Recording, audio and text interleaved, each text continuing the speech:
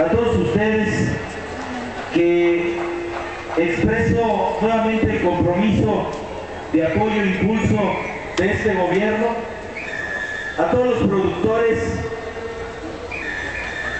de leche que en esta región realizan. Históricamente, Chalco tiene identidad y arraigo.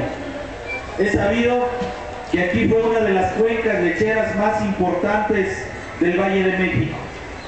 Es por ello que hoy en la actualidad queremos recobrar esa, ese arraigo, esa tradición que nos ha distinguido no solamente en el Estado de México y a nivel nacional, sino también a nivel internacional, que Chalco se distingue por sus quesos. Desgraciadamente, alrededor los establos y ranchos que estaban establecidos y que producían una gran cantidad de leche han desaparecido. Pero también quiero ver, digo perdón, también quiero y estamos viendo que existen pequeños productores todavía y que para este municipio son de suma importancia darle el impulso que requieren. Por ello, hemos dado las instrucciones y las encomiendas a través de la Dirección de Desarrollo Económico para fomentar esta producción.